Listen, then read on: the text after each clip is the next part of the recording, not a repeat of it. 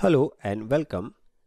In this video tutorial, we will learn how to identify NPN and PNP transistor with the help of this digital multimeter. Set the probes according to the showing as video and rotate the rotary switch on diode testing range. And now let's take a transistor transistor has three terminals that is collector base and emitter.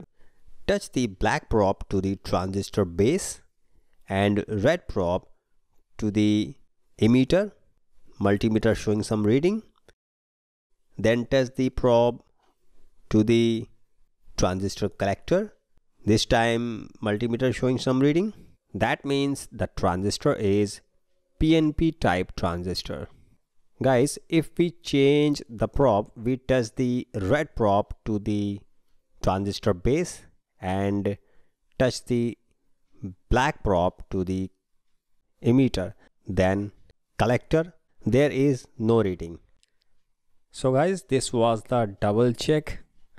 We identify the transistor is PNP transistor so let's check another transistor. Take a transistor. This is a silicon transistor.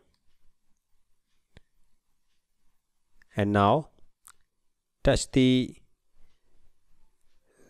red probe to the transistor base and black probe to the transistor emitter. Then collector the digital multimeter is showing some readings on both sides that means this transistor is NPN transistor. So guys this was the quick tutorial to identify NPN or PNP transistor. Thanks for watching